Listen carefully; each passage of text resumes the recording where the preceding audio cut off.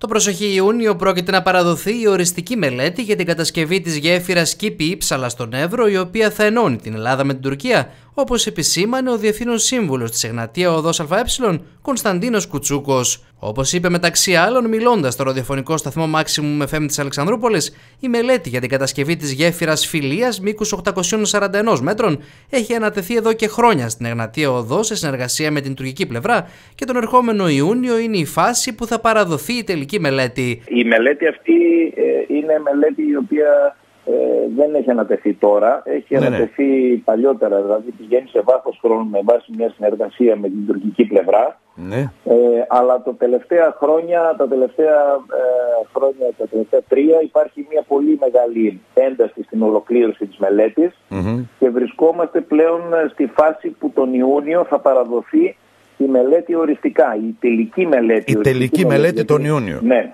ναι, γιατί υπάρχουν, ξέρετε, διάφορα στάδια μελετών. Προκαταρκτική mm. και τα λοιπά, προμελέτη. Ναι. Άρα ε, ε, τον Ιούνιο λοιπόν θα έχουμε τη μελέτη στα χέρια μας. Έχουμε μάλιστα και μια ε, συνεργασία πάλι με την τουρκική πλευρά. Σύμφωνα με τον κύριο Κουτσούκα, από εκεί και πέρα θα πρέπει να γίνει η δημοπράτηση του έργου έτσι ώστε να ξεκινήσει η κατασκευή του. Από εκεί και μετά θα πρέπει να γίνει η δημοπρασία για να κατασκευαστεί η γέφυρα ε, από τις δύο πλευρές, έτσι την ελληνική. Η Εγνατία Οδός ΑΕ έχει αναλάβει, όπως είπατε σωστά, την μελέτη και για λογαριασμό της Τουρκίας και για λογαριασμό της ελλαδος ε, με εντολή προφανώς από το Υπουργείο Υποδομών, γιατί εμείς ανήκουμε ως εταιρεία στο Υπουργείο Υποδομών, έτσι, με υπουργό τον κύριο Σταϊκούρα.